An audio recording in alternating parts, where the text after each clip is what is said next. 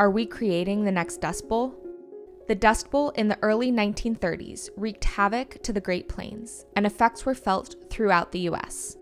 Overcultivation of the land by putting millions of acres under the plow robbed the topsoil of roots that would normally retain water. This region only gets about 20 inches of rain per year, and with the land unable to hold onto the water, there was nothing to anchor the soil.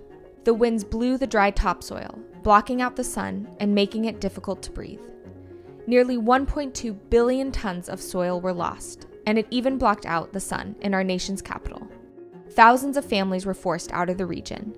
Today, we are mirroring the conditions that led to the Dust Bowl through our use of industrial agricultural practices, leaving the soil bare.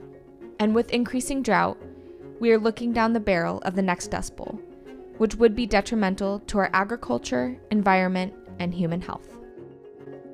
That's the food fix.